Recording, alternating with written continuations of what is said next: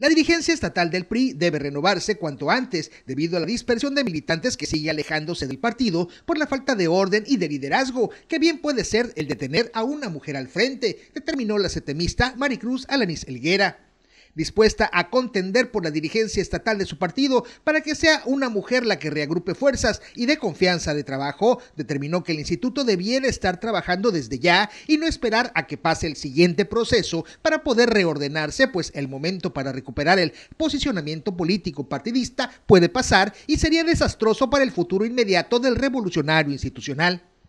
Tenemos muchos proyectos por hacer, algunos se tienen que hacer desde, desde ya, que se ha tardado el partido. A mí me preocupa muchísimo.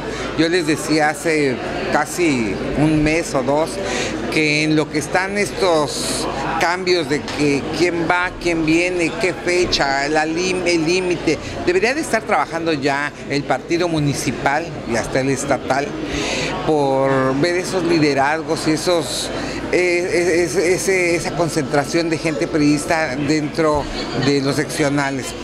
Maricruz Alanís, la única mujer que ha levantado la mano para contender por la dirigencia estatal del PRI, estableció que la base militante, los sectores y las organizaciones siguen acompañando al partido, pero se desconoce su fuerza en número, luego que el pasado proceso desencantó y motivó a muchos correligionarios y simpatizantes a formar otros grupos para apoyar a diferentes opciones debido al abandono de los liderazgos en el partido.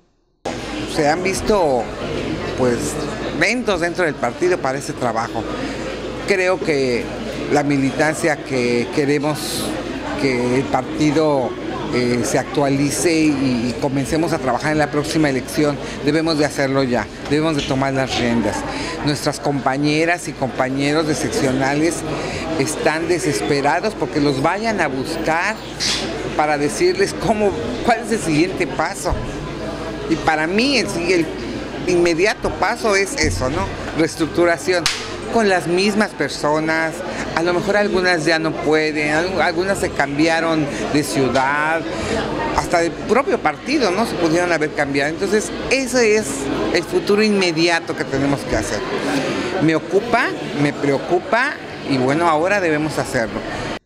Con imágenes de Ricardo Vallejo, informó para Notivisión Héctor Bello.